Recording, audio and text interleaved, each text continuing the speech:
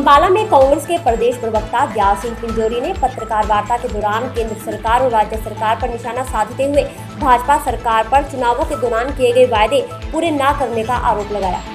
दयाल सिंह पिंजोरी ने कहा कि भाजपा की केंद्र सरकार ने सत्ता में आने से पहले बड़े बड़े वायदे किए थे, जिनमें से एक भी वायदा वे पूरा नहीं कर पाए हैं।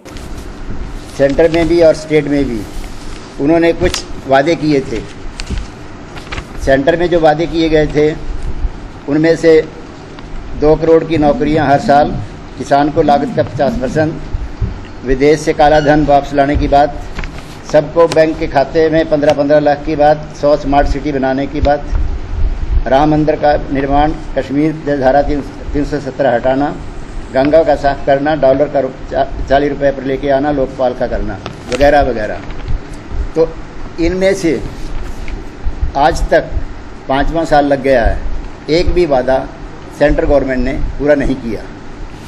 ऐसे ही प्रदेश गवर्नमेंट ने भी जब 2014 में इलेक्शन हुए थे, एक सौ चौवन वादे किए थे, उसकी भी कॉपी मैंने आप लोगों को दी है।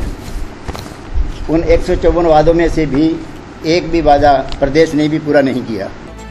उन्होंने भाजपा सरकार को पूरे तरीके से फेल बताया।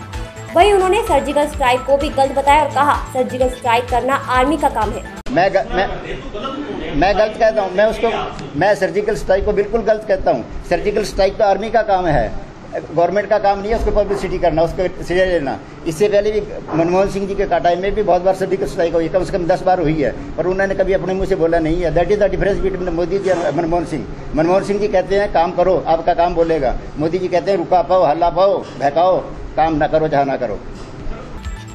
वही दौरान पत्रकारों ने जब उनसे पंजाब में बढ़ते नशे के बारे में सवाल किया तो उन्होंने इसका जिम्मेवार पूर्व की बादल सरकार को ठहराया। कारोबार तो बादलों के टाइम में हुआ था। वहाँ उस तो एकदम से एकदम से थोड़ी कंट्रोल कर लेंगे। तो सारा कारोबार तो उनका है सैड वालों का। उन्होंने सारा काम कर रखा है, वो जरा, वो चाहते हैं कि गवर्नमेंट फेल हो जाए। हैं जी? हमारी सरकार तो कोशिश कर रही है, पर वो, उनको सपोर्ट तो वो कर रहे हैं ना। हम तो किसी को सपोर्ट नहीं कर रहे।